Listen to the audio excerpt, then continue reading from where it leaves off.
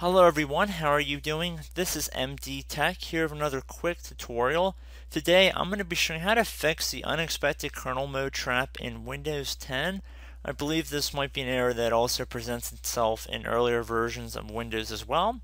So if you're receiving this blue screen at death, this tutorial is going to be for you guys.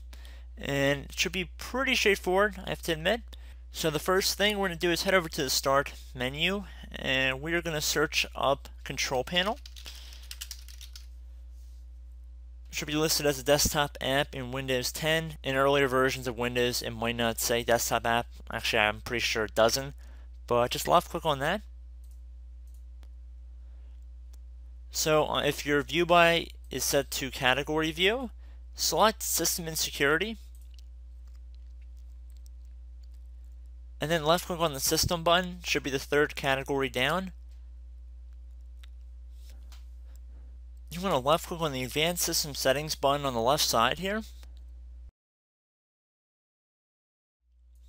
Then you want to left click on the settings button underneath startup and recovery. Underneath write debugging information, if it's set to kernel memory dump, select the little drop down arrow on the right side. And now instead select small memory dump.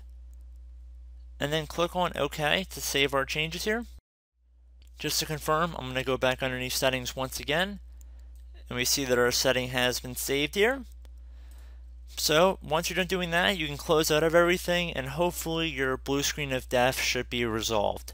So I hope this brief tutorial helped you guys out and I will catch you in the next tutorial. Goodbye.